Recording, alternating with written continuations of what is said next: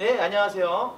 2020 문화회관 문화예술 교육 프로그램 예술 배움터 예술 마실 다니는 광주 멋쟁이 2기 국악 교육을 실시하겠습니다. 저는 주강사 소지원이고요. 네, 옆에 계시는 송한울 보조 강사님 그리고 오세희 보조 강사님께서 자리를 함께 해주셨습니다. 네, 자리에 앉으시기 바랍니다.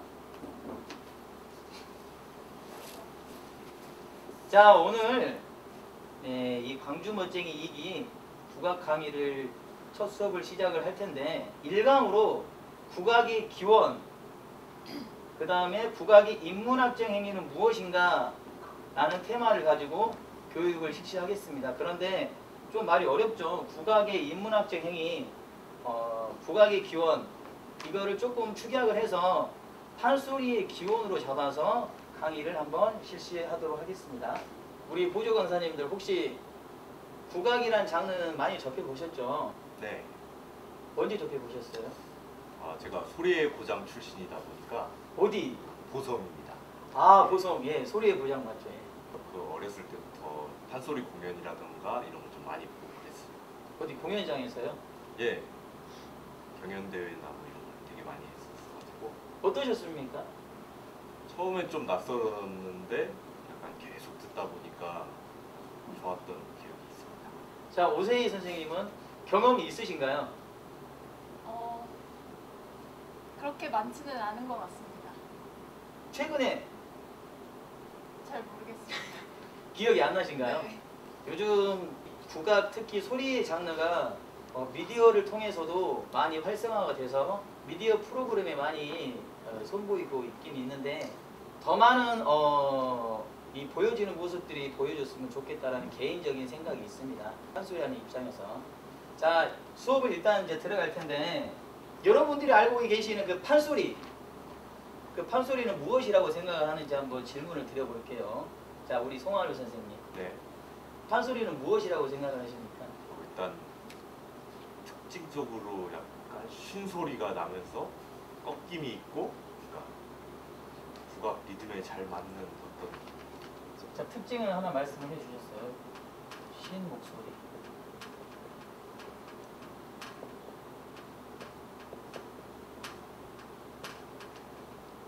오세희 선생님, 우리의 소리입니다.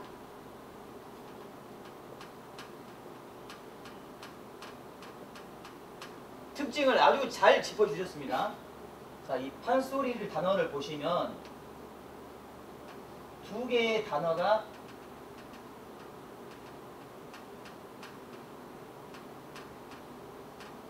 이렇게 합성이 되어 있어요. 이 사전적인 의미를 살펴보면 우리가 흔히 판이라고 하면은 뭐 노름판, 뭐 씨름판, 죽을판, 난장판 무슨 의미를 말을 하냐면 어떤 행위나 어, 놀이가 벌어지는 공간을 말을 합니다. 판 네. 어떤 공간의 형태를 말을 하는 거죠. 소리 소리는 말 그대로 우리가 현재 불려지고 있는 판소리 말이죠. 정리를 해서 말씀을 드리면 어떤 놀이나 행위의 공간 이제 여기서 말하는 판소리는 어, 이 판소리가 불려지는 공간을 말을 하겠죠. 거기서 행해지는 소리를 갖다가 판소리라고 합니다. 이해하셨나요? 네. 자, 판소리의 정의를 알아보셨고 그 다음에 이 판소리의 구성 요소가 있습니다.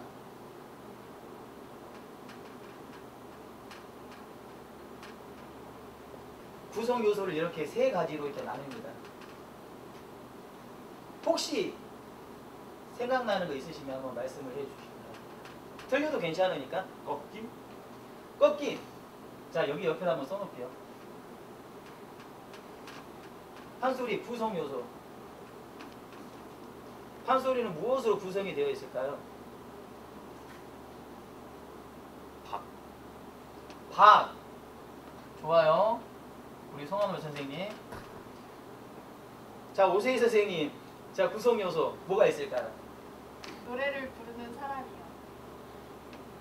창자라고 부르죠. 또는 소리꾼.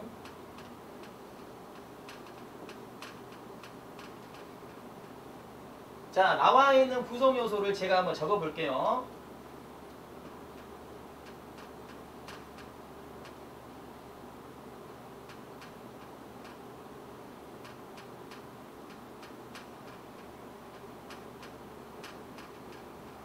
자, 판소리의 구성 요소는 이렇게 소리, 안일이, 발림으로 구성이 되어 있습니다. 자, 그래서 아까 송하울 선생님께서 말씀하셨던 이 소리 부분의 꺾임, 소리의 특징 중에 하나예요. 소리는 창자의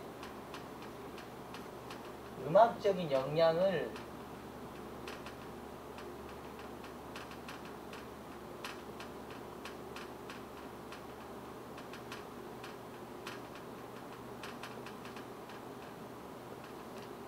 음악적인 역량을 보여주는 부분이에요.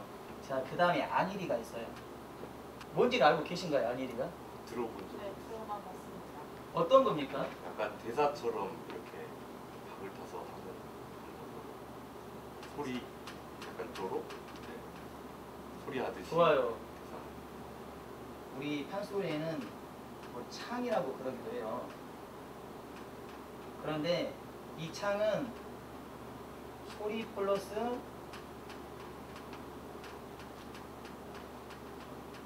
요또 두 개로 구성이 됩니다. 음악적인 영향을 발휘하는 이 소리 부분을 가지고 가다가 중간중간에 안일이로 이렇게 쉬어가주는 부분이 있어요. 말 그대로 대사투를 이렇게 하는 거죠. 그래서 소리 부분에서 긴장의 부분이라고 하면 이 안일이 부분은 이 긴장된 부분을 이완시켜주는 이한 부분이에요. 그래서 소리는 이 긴장과 이완의 미가 있다. 라고 말을 합니다. 안일이는 이 소리가 아니라 일반적으로 대사투의 말투가 많이 있어요. 근데 이것도 약간 좀 나뉘기도 하거든요.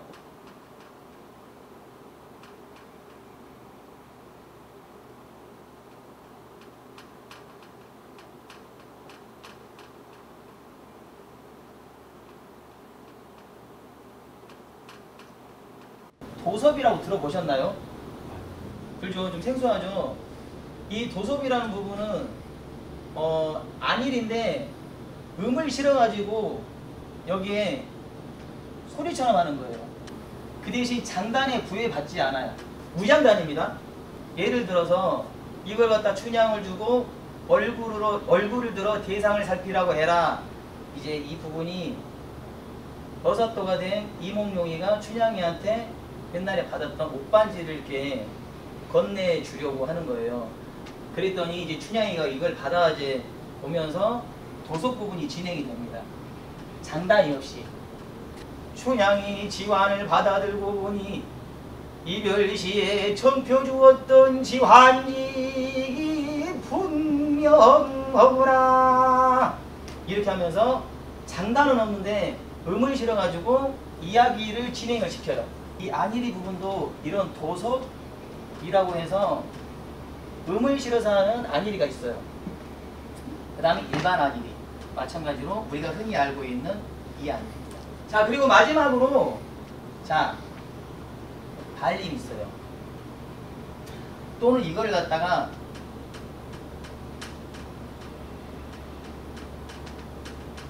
너름새 이렇게 볼 수가 있어요.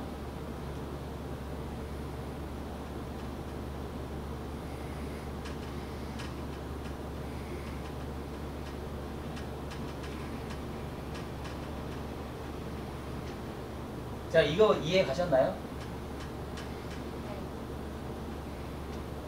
너름새라는 이 틀 안에 달림이 들어가 있어요. 너름새는 뭐냐면 우리가 흔히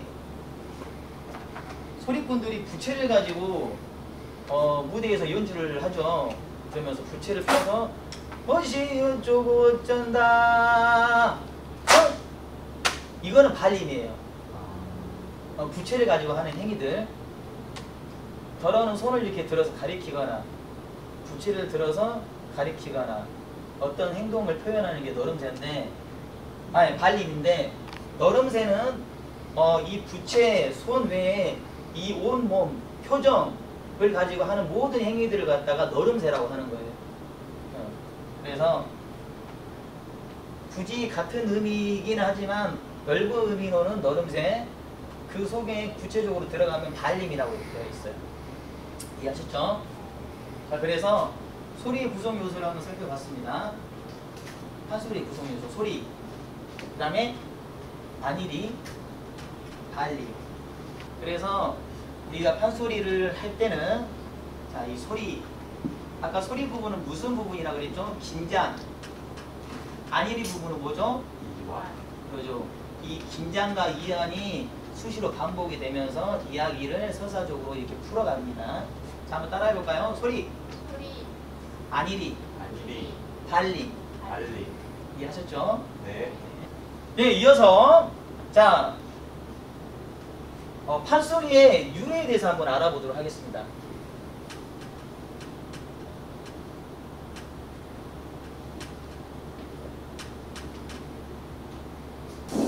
자, 어, 판소리가 정확히 언제 만들어졌고 언제 불렸는지는 알 수가 없대요. 근데 대충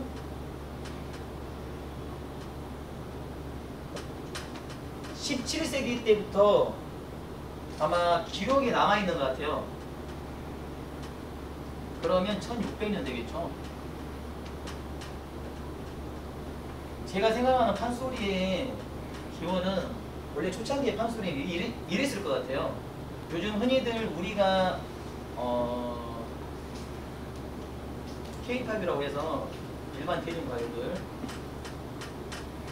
어떻게 보면 유행가죠. 트로트라든가 이런 것처럼 그때 당시에는 전문적이진 않지만 사람들 사이에서 입과 입 사이로 유행가처럼 불려졌을 것 같아요. 그랬다가 이게 점차 시간과 어, 시간이 지나면서 전문성을 띈 전문성을 띈 분들이 등장을 하고 이분들한테 배우기 시작하는 문화생들, 제자분들이 생겨나기 시작을 하면서 판소리가 아마 발전하고 확장되는 시기가 되지 않았을까. 그래서 초창기 때는 어 저는 그때 당시 유행가라고 생각이 듭니다. 판소리가. 자 그런데 여기에서 어, 대표적인 것만 한번 알아보도록 할게요. 자 설화기어설과 그 다음에 두 번째로 무 여기는 무굿이라고 나와 있는데 무가도 맞아요. 무가 기원설, 무굿 기원설.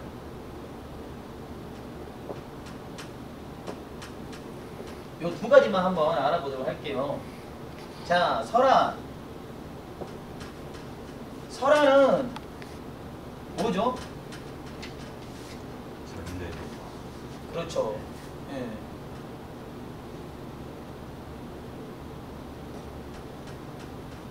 그 지역마다 어, 가지고 있는 그런 이야기 옛날 이야기들이 있어요.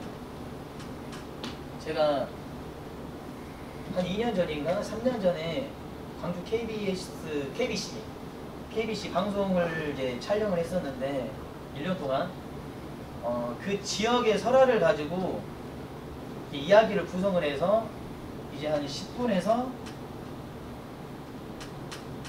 15분 정도의 드라마를 이제 제작을 한 적이 있어요. 이제 저는 소리꾼이다 보니까 제가 직접 들어가서 뭐 소리도 하고 연기도 하면서 했는데 그 소재거리를 보니까 전부 다 기원 이 설화들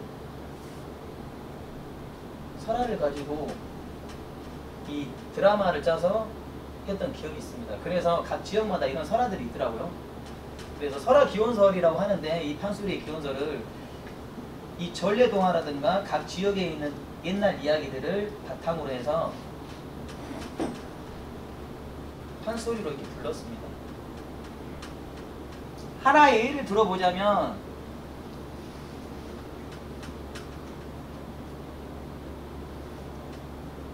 춘향가 있죠.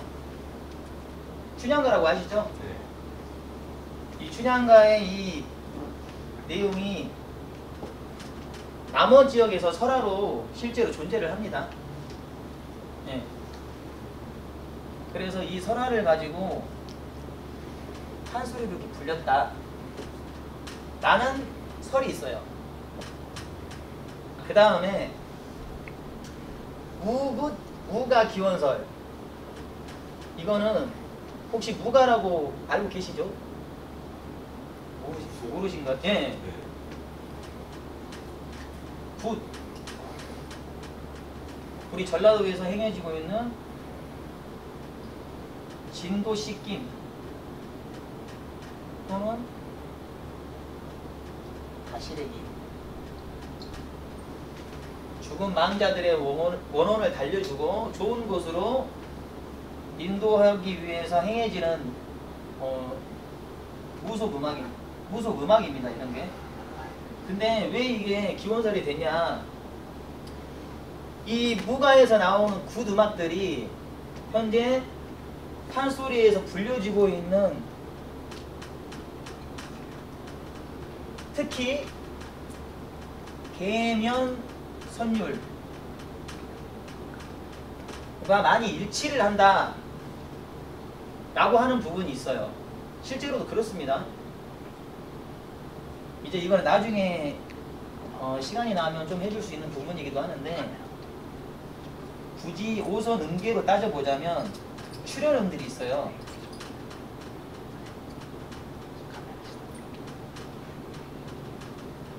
자, 출연음 한번 읽어보도록 할게요. 자,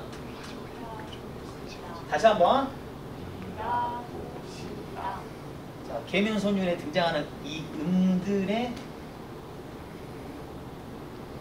자, 음들입니다. 무슨 말이냐면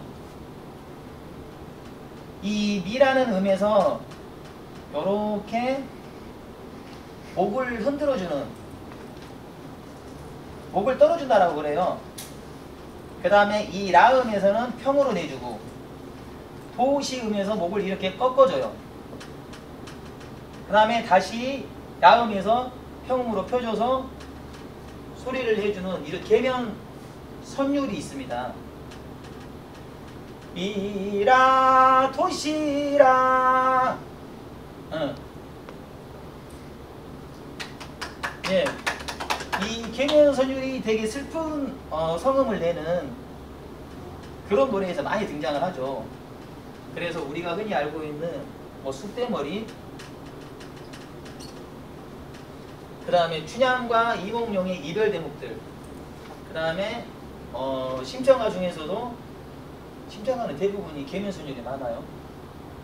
그래서 심청이가 아버지랑 이렇게 뭐냐 인당수로 팔려가죠.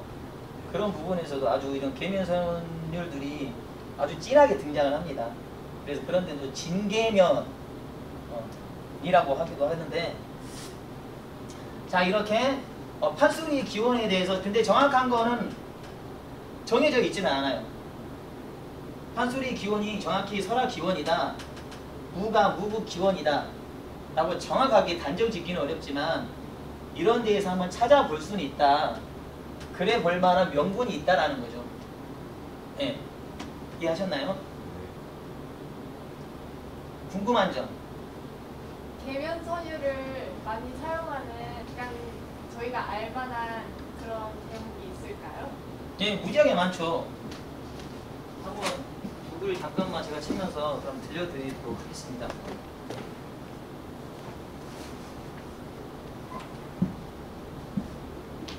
자, 그 심청가 중에서 신봉사가 화주승을 만나고 난 다음에 절에다가 300상만 바치면 눈을 띄워준다라고 해요. 그러니까 이 신봉사가 너무 좋아가지고 바치겠다고 약조를 하고 중을 보냅니다. 근데 보니까 신봉사는 집안이 너무 가난하죠. 예. 당장 끼니를 해결하기도 힘든 상태여서 이제 그거를 보고 신세 한탄을 하는 거죠. 어디가 미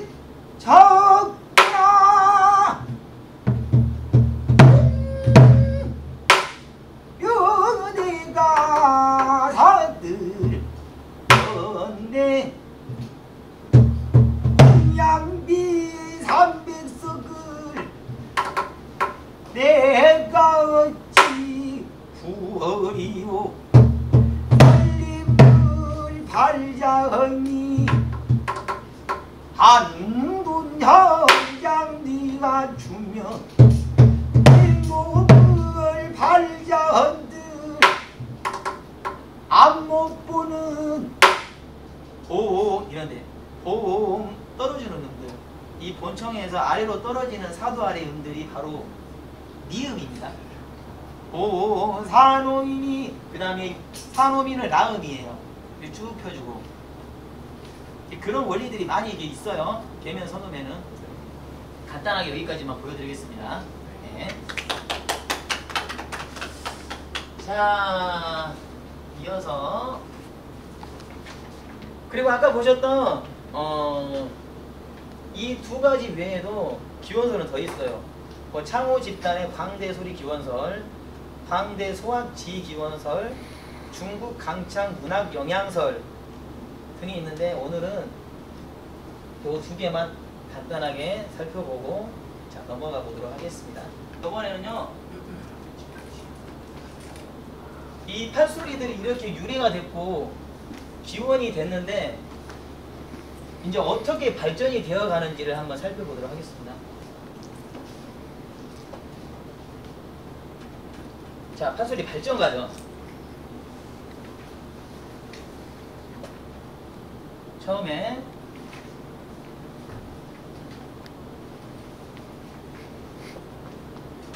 성장기. 판소리가 맨 처음에 만들어져서 이 자리를 잡아가는 과정이에요. 성장기 때는. 자, 두 번째.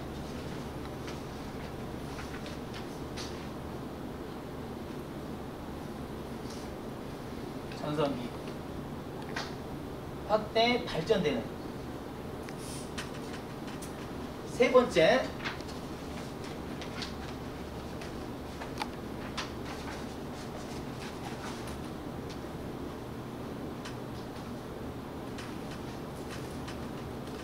소리의 위축기가 찾아옵니다.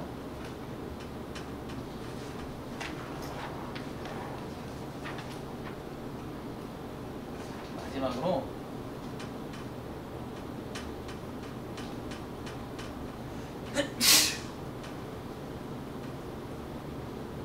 자, 판소리의 발전 과정은 이렇게 네 가지로 나눠볼 수가 있어요. 자, 성장기. 아까 판소리가 맨 처음에 어, 정확히 언제 만들어졌는지는 알 수가 없다 그랬죠. 17세기 때부터 이게 자리를 잡아가기 시작했다라고 추측을 하는 거고요. 어, 자 성장기에서는 이제 판소리가 독자적으로 자리를 정립을 해 나가기 시작합니다.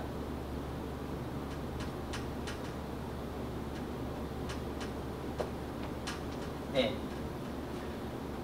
자, 이때 초창기 때 이 판소리는 이 목들이라든가 장단의 쓰임들이 좀 단순했어요. 그래서 장단이 단순했었고 선율도 마찬가지로 지금처럼 뭐 계면, 뭐 우조, 평우조 다양하게 쓰였던 게 아니고 그때 당시에는 계면 성음이 없었어요.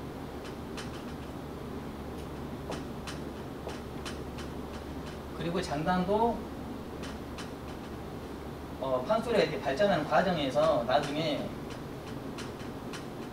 나중에 장단 시간에 배울 건데 진양조가 새롭게 만들어지기도 합니다. 추가적으로. 그래서 처음에 수정기 때 쓰였던 장단도 한정적이지 않았을까? 라고 생각이 듭니다. 자, 그래서 이때 처음에 어, 판소리가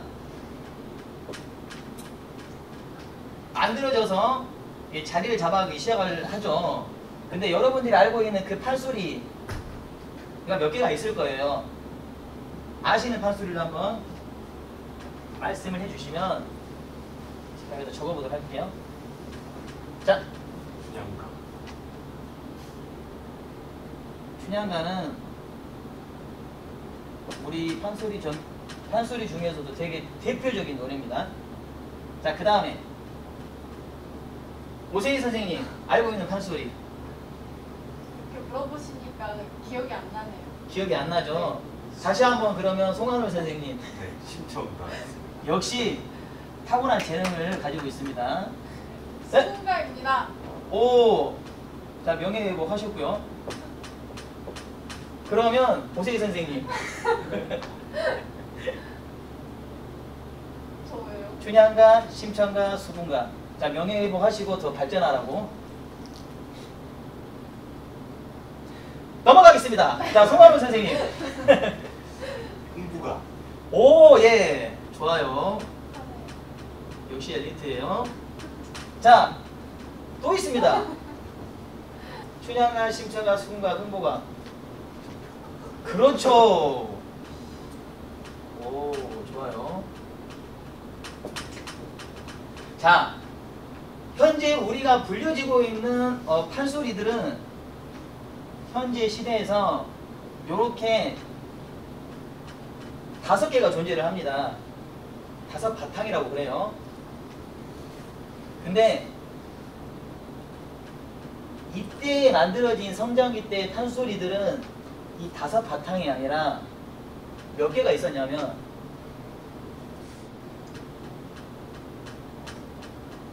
몇 개? 열 죄송해요. 썼네요. 정확하게. 12개가 만들어졌었어요.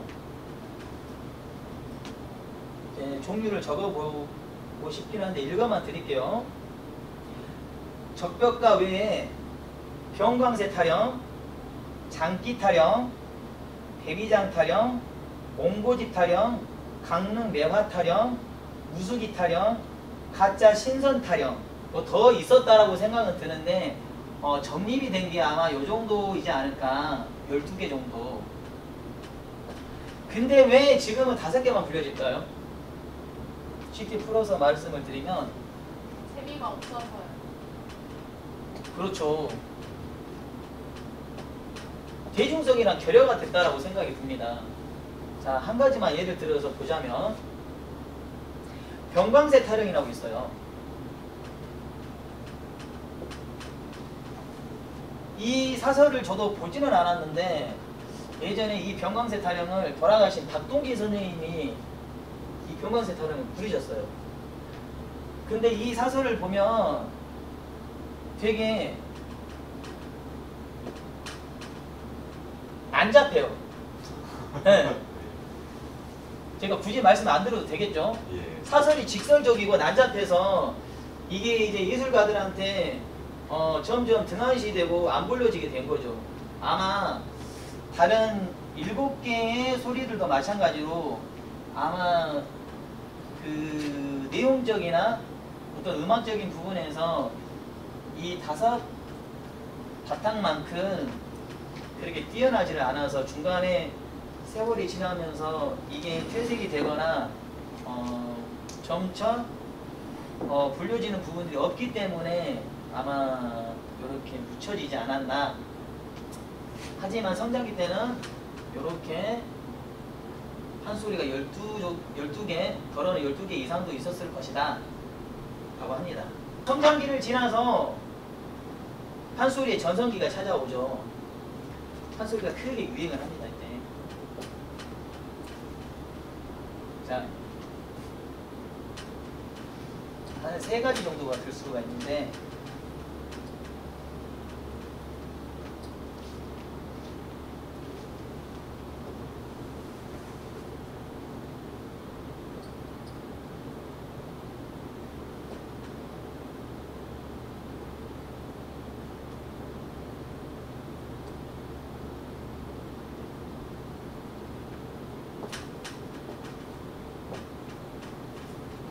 전성기 때 이렇게 세 가지 특징을 보입니다.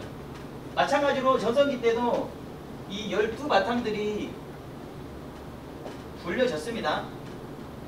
근데 이 향유충의 확대가 어떻게 됐냐 특징 중에 하나가 초창기 때 우리 판소리는 서민층 위주의 관객층이었어요. 근데 이게 어떻게 바뀌냐 향유층들이 서민층에서 양반 더러는 어, 재산을 쌓은 부호층들로 바뀝니다.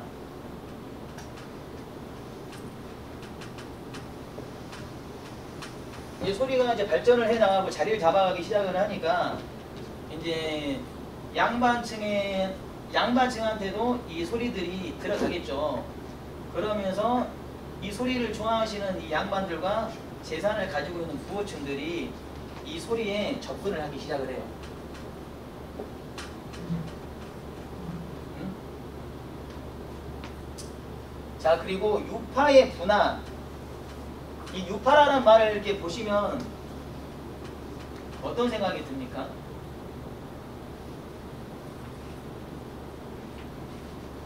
스승만의 어떤 가치를 가지고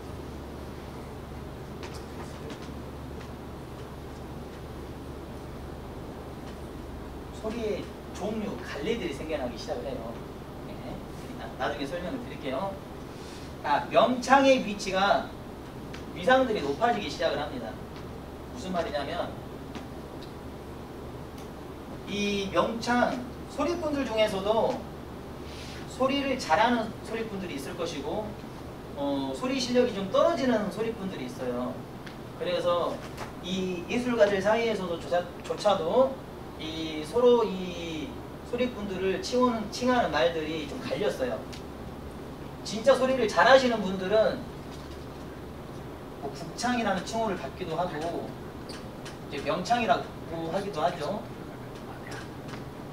이 국창을 갖다가 더 버전 명창 무슨 말이냐면 임금님 앞에서 소리를 하시는 분들 그러니까 국창 칭호를 내려줬었어요. 근데 반대로 마찬가지로 소리가 좀 안 되시는 분들 있잖아요. 이런 사람들 뭐라고 했냐면 또랑 강대 저는 아까 맨 처음에 소두에 말씀을 드렸던 어, 소리에 영향을 펼칠 수 있는 부분이 바로 소리 부분이잖아요. 안일이를 제외한. 근데 이 안일이 부분을 잘하는 광대가 있어요. 그래서 재담 소리꾼이라고 해요. 어, 소리 실력은 조금 아닌데 이 이야기를 잘 풀어가는 그런 소리꾼들 있죠. 재담 소리꾼 또는 안일이 광대라고 해요. 그렇게 해서 이 명창들 사이에서도 소리꾼들 사이에서도 이렇게 지위들이 갈립니다. 향유층이 확대가 됐다고 했죠. 어디로 확대가 됐어요? 양반 양반 부호층으로 확대가 됐습니다. 그러면 이 소리층이 확대가 되면서 이 소리의 공간의 형태도 변화가 되기 시작을 해요. 음. 자, 어떻게 변화가 됐느냐? 이 양반이라는 사람들이 춥고 덥고 시끌벅적한 야외에서 공연을 소리꾼들의 소리를 듣고 싶어 할까요? 조용하고 자기만의 공간, 좀 더 편한 공간에서 소리를 듣고 싶어 하겠죠. 그래서 서민층이 많이 봤던 저작거리의 이런 공연 형태의 공간에서 어디로 변화가 되냐? 실내로 옮겨집니다. 왜? 양반들이 좋아하니까.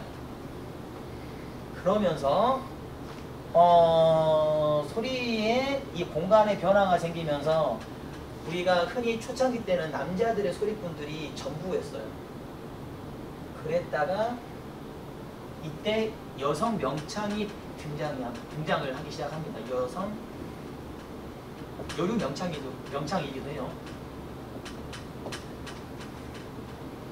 왜 이렇게 되냐?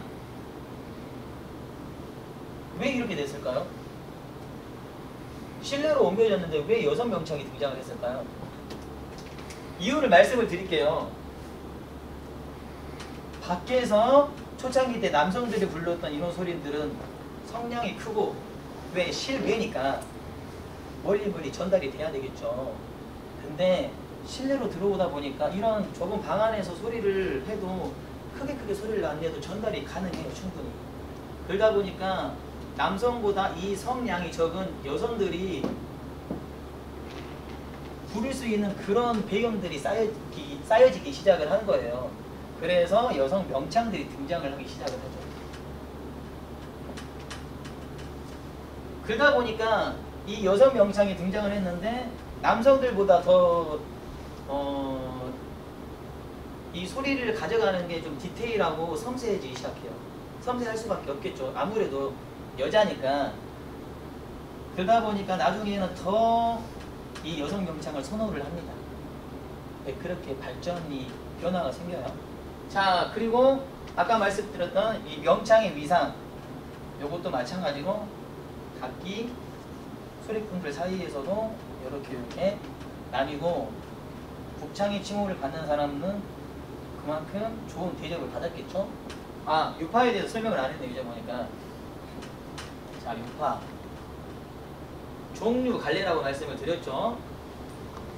이 판소리에 어 동편제라고 들어보셨나요? 네. 동편제 말고 다른 게 또 있어요. 역시 송하늘 선생님. 자, 판소리의 갈래가 시작이 됩니다. 이렇게. 자, 이거를 나누는 기준이 있어요. 어떻게 나뉠까요? 이렇게. 영남, 호남? 예. 동, 어, 좋아요. 자, 영남, 호남은 아니고 동서입니다. 근데 이 동서의 기준이 어디냐면 섬진강. 섬진강을 기점으로 해서 자, 오른쪽에 있는 지역에서 불려지는 소리가 동편제. 그래서 곡성, 구례 대표적인 예로. 반대로 섬진강을 기준으로 해서 서쪽에 위치한 그 소리 지역을 서편제. 그래서 가장 유명한 보성 그래서 보성에서 소리 되게 들리죠 보성 소리라고 그래요 그래서 서편제 관리 중에서 보성 소리라고 하긴 하는데 이렇게 지역적인 특징을 가지고 이렇게 유파가 갈리기도 합니다. 그리고 어, 중고제라고 또 하나 있어요. 자, 중고제. 동서 중. 어떻게 보면은 지역상으로 보면 가운데 있다라고 해서 중고제라고 하긴 하는데 어, 이거는 굳이 지역적으로 나뉘기보다는 어, 판소리의 음악적인 부분에서 더 이게 고중을 찾으려고 하는 것 같아요. 현재 이론가들 분께서. 그래서 아직 정확하게 연구 중이에요. 음, 굳이 동서편의 중간에 있는 그 중고제가 아닌 아마 이쪽에서도 영향을 받았고 이쪽에서도 영향을 받아서 뭐 그렇게 만들어진 음악이 아닐까 어, 라고 현재 이야기가 나오고는 있는데 계속 이렇게 연구 중이신 것 같아요. 자 이렇게 근데 동서편으로 나뉜 이유가 있어요. 지역적으로 왜 그랬냐면 예전에는 교통수단이 원활하지 않았잖아요. 그래서 산이라든가 강이라든가 이런 거를 기점으로 해서 문화가 조금씩 달랐고 생활 방식이 달랐단 말이에요. 그렇기 때문에 그 지역에서만 어, 유지를 하고 있는 이 음악적인 부분들이 달랐어요. 마찬가지로 문화가 달랐기 때문에 그래서 이렇게 유파들이 발생이 되기 시작을 했었습니다. 요즘도 유파가 있습니까? 예? 요즘도 유파가 있나요? 예, 좋은 질문이세요. 지금도 유파는 있어요. 어, 동편제 소리를 하시는 분들도 있고 서편제 소리를 하시는 분들도 있어요. 이게 나뉘긴 나뉘어요. 나뉘기는 나뉘는데 이제 현재에 와서 이 동서편을 굳이 구분을 하지 않을 것 같아요. 앞으로 추세도 그렇고. 전체적으로 그런다는 거죠? 예, 굳이 동서편을 예, 나눠는 있어요. 나뉘어는 있는데 이걸 갖다가 너는 동편의 소리, 여기는 서편의 소리 이렇게 딱딱 구분 지어가지고 하는 추세들이 지금 현재 아니에요. 예, 점차 줄어들고 그냥 소리 선생님도 유파가 그럼 있는 거예요? 저는 저는 보성 소리를 하고 있습니다. 보성 소리는 개면서는 되게 많이 있어요. 슬픈 노래들. 자, 판소리 발전하는 과정에서 성장기 때가 있었죠. 이때 중요한 역사 인물 한 사람이 등장을 합니다.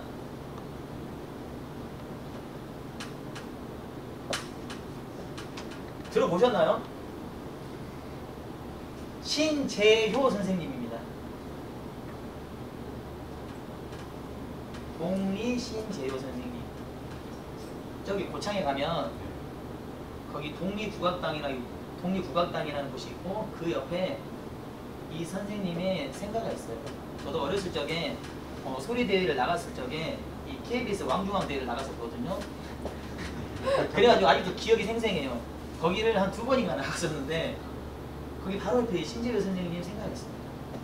근데 이분께서 아주 대단한 업적을 남기셨어요. 우리 소리사에.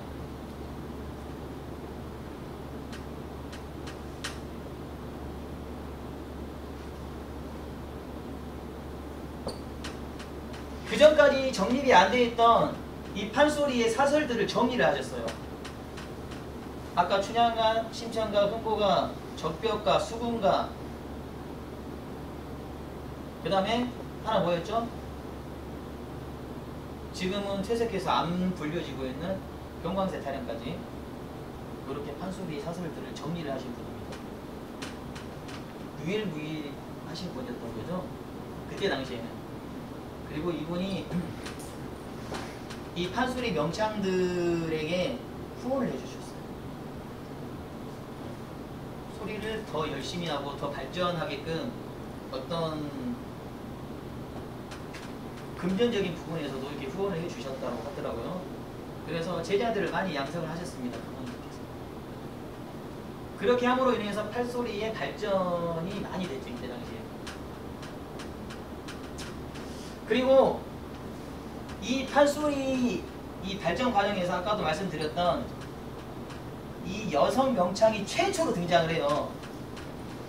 근데 이게 굉장히 파격적인 파격적이었어요. 왜 그랬냐면 기존까지는 계속 남자 명창, 남자 소리꾼들만 존재를 했었는데 갑자기 공연 형태가 변화됨에 따라서 여성 명창이 등장을 했다라고 하죠. 이때 맨 처음에 등장한 여성 명창이 누구냐면 진채선이라는 명- 여성 명창입니다. 굉장히 소리를 잘하셨는데 위축기도 있었는데 이제 위축기는 이제 일제 강점기 시대 때부터 시작을 해서 그렇게 판소리가 어, 우리나라 문화 자체가 그렇게 원활하게 이렇게 태동이 되거나 발전이 되지는 못했겠죠. 일제 시대- 시대였기 때문에. 그래서 이때는 이제 그런 거를 이제 방지하기 위해서 이 소리꾼들이 단체를 조직을 해요. 뭐 조선 성악 연구회라든가 뭐 여성 국부. 그래서 이때는 창극이 도입이 됩니다. 창극. 우리가 현재 하고 있는 창극. 연기가 가미가 돼서 어떻게 보면 이제 서양의 뮤지컬이죠. 이런 식으로 공연 형태가 진행이 되고 마지막으로 보존 재생기가 있었죠. 자 보존 재생기 때는 어 우리 소리가 정말 음악적으로 특출나고 좋고 그런데 이거를 어, 계승을 해야 되잖아요. 근데 그 계승할 명분이 조금씩 없는 거예요. 그러다 보니까 이 문화재 관리 보호법에서 이걸 갖다가 문화재로 지정을 하기 시작을 합니다. 그래서 인간 문화재가 그때부터 생겨나기 시작을 한 거예요. 그래서 이분들한테 이 명창들한테 이 문화재를 지정을 해놓고 이분들한테 이제 뭐 후원을 해준다거나 이런 식으로 해서 전수조교를 만들어내고 그 밑에 문화생들을 키워나가는 그래서 어 예술인들을 보호하는 측면에서 이런 문화재를 지정을 해서 관리를 해주는 이 보존 재생의 기간. 네. 근데 이게 또 겉으로 봐서는 또 좋긴 좋은데 또 한편으로 봐서는 안 좋은 측면도 있긴 있어요. 무슨 말이냐면 이 선생님의 소리를 갖다 그대로 이게 그대로 그냥 판박이로 따라서 하는 현상이 생기는 거예요. 예. 네. 지정을 해놓으니까 선생님은 자 내 소리 그대로 해야 돼 하는 현상들이 발생이 되기 시작해요. 그래서 뭐 이런 소리가 다 사진 소리다. 뭐 본요월에 듣던 소리 뭐 90월에도 또 듣는다 이런 말들이 있었어요. 그런데 어 이렇게 뭐 안 좋은 측면도 있었지만 결과론적으로 보면은 우리 판소리가 현재 지금까지 살아남고 계속 명맥을 유지, 유지해 올 수 있는 그런 틀을 마련을 해주지 않았나 이 문화재 지정으로 인해서 그래서 좋은 측면이 더 장점들이 많다라고 저는 개인적으로 생각을 합니다. 자 여기까지 혹시 궁금한 점 오세희 선생님 네? 궁금한 점 있으십니까? 아, 너무 설명을 잘해주셔서 아이고. 이해가 쑥쑥 됩니다. 아유 설명을 잘 했는지 어쩐지 잘 모르겠어요. 저도 예. 자 송한호 선생님 그러면은 그 예. 아까 동리 선생님 같은 경우에는 원래 부유층이셨는데 소리를 예 아마 부유층 부유층이었다라고 저도 그렇게 알고 있거든요. 예, 소리는 잘하시지는 못하셨다 그랬어요. 예. 소리 잘하시지는 못했지만 소리에 대해서 많이 알았고 어, 이론적인 지식도 굉장히 뛰어나신 분이어서 이렇게 아마 사설들을 정리하는 그런 작업을 하시지 않았을까. 궁금한 점 있으십니까? 예, 없는 걸로 하고 자 수업을 자 종료를 하겠습니다. 자.